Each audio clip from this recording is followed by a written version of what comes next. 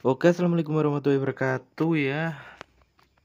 Kembali lagi bersama saya. Kali ini saya akan membagikan cara mentransfer paket data ya. Cara mentransfer kuota melalui aplikasi My Telkomsel ya. Melalui aplikasi My Telkomsel. Cara mentransfer kuota ya langsung saja ke caranya ya. Pertama kita buka aplikasinya ya. Metal Comsel seperti biasa ya.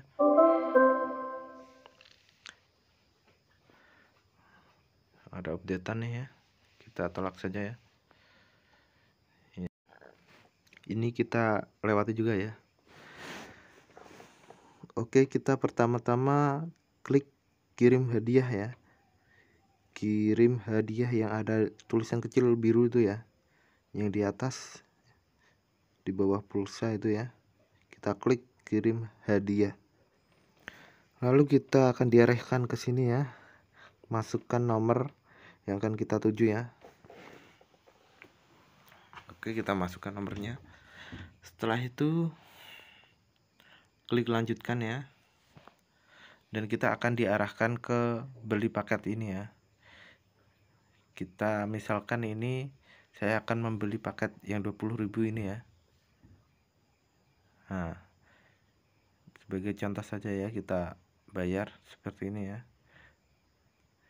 Dan kita tunggu SMS ya. Ini sudah masuk SMS nya langsung ya. Ini kodenya ya. Kita masukkan ke my telkomsel tadi ya